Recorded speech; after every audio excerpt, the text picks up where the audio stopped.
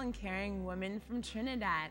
She loves to wear tropical, colorful clothes, and my father is an adventurous guy who's really fast at running. Since he's from the, da- the, the, the since he's from the dairyland of the state of Wisconsin.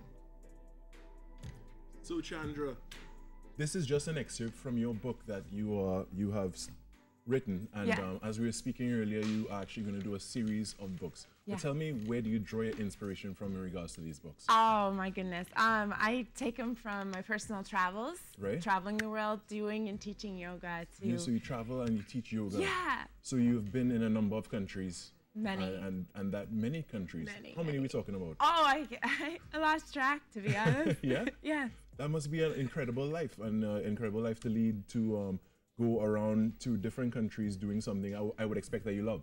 Yeah, it's incredible to um, put yourself out there and to follow your heart. You can't imagine how many like amazing experiences you uh, you can come across when you when you put yourself out there and believe in yourself. Is that the message of the book?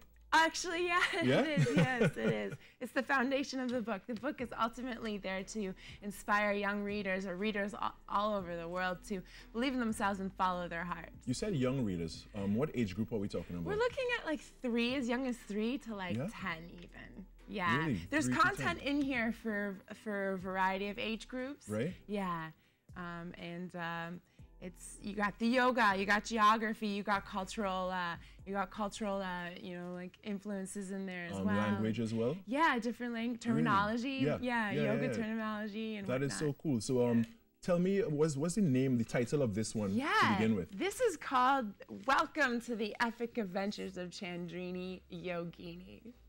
This is awesome. So. Chandra, so of course, we will draw that Chandrini is taken from your name. And um, Yogini is because you practice yoga. Exactly. Right? Obviously. Hundred percent. Yeah. Um, but tell me about your experiences. What motivated you to start the like doing this book series?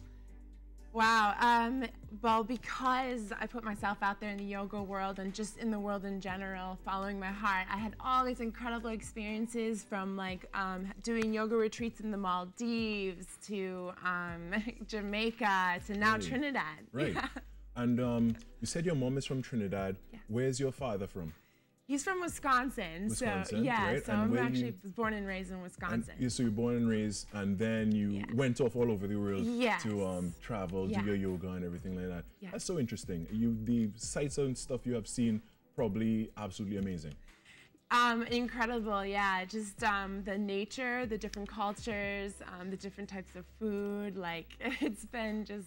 I'm just so excited to write this series. I just cannot wait for this first book to just really get out there and inspire people, so I can keep writing and. So you said series. That is a very important word there. Yeah. So that means this is not the last one. No, this, This is, is just the the, first. beginning. Yeah. All right. Yeah. So what can we expect for um, you know, let's say the next one? Are you gonna write one about Trinidad? Oh wow! Well, after my time here in Carnival, I uh, I cannot wait to get a Chandrini Yogini goes to Trinidad. Right.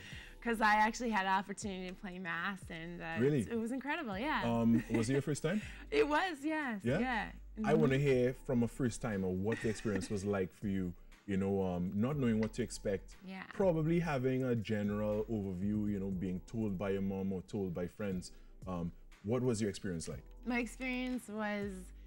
I'm still I'm still soaking it all in to be Right. honest because it was it was like soca the soca stuff and then it was the pan drum and it was just like many things and so I'm just really just taking it all in. It's been just it's been wonderful. It's been really great. I can only imagine taking it all in. yeah, you know, from my first time playing mas and experiencing carnival, I actually played mas in Canada before I played mas in Trinidad. Oh, wow. Which is crazy. Well, because I, I went abroad to study.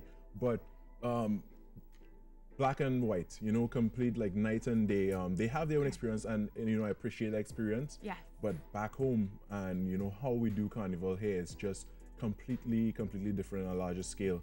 And um, yeah, I could I could relate to how you probably felt the first time, your first time playing this year. Yes, Yeah. I'll be back, and um, I love feathers. I absolutely love feathers. So. Could we get you to actually read a couple more lines from um, your book? Yeah, absolutely. Well, each book is gonna have the mantra, so keep Right. keep keep people uh, excited, um, and also. um, Chandrini Yogini says this mantra before she goes on each adventure, and it is, I believe in myself, I believe in myself, and I believe in you too. Will you say it with me? So, can you imagine right. the classrooms and the kids saying, I believe in myself, I believe in myself, and I believe in you too? I could just imagine, like, you know, with my, I have a little nephew. Yeah. And um, I don't get to read to him very often, but something like this, I'd, I'd be so enthusiastic to read to him because it's so positive and it gives such a good mes- message. And, um, you know, that's something we need to get into the little ones from a very young age so that they grow up with that mentality being fostered from, you know, from early on. Yes, yes, yes, yes, yes, yes. Can you imagine if we all just like, all just live life with passion and just feeling alive each day and really motivated to just like put yourself out there and can you imagine like the change that we can make? Exactly. you know, um, you want you want kids that grow up feeling standing in their own power, yes. as I like to say. Yes. And um, you know, leading their best lives. Leading their best lives, ultimately, yes. And that's why the yoga compo- component of the book is also very important because it's about really understanding who you are inside and out. So, Chandra, how can we get a hold of your book? One, yes. and then how can we get a hold of you? Wow. Um, I have Instagram, I have Facebook for both my personal page and also for the book. So chandriniyogini.com is the website. Um, and then you also have Chandrini Yogini for Instagram as well. Okay. Yeah. Yep. That's great. So um, we can get to you on social media and the book itself. Can we buy it off the website? You can see it on Amazon, Barnes and Nobles, but also chandriniyogini.com. You can order directly from the website. All right, well, Chandra, thank you so much for all you've shared this morning. And of course, we wish you the best. Um, you're one of our very own, you know, with your Trini lineage. okay, I'm excited to yes, be here. Yes, definitely. Thank so and thank you so much for being here. All right, we're going to take a short break. We'll be right back. Stay with us.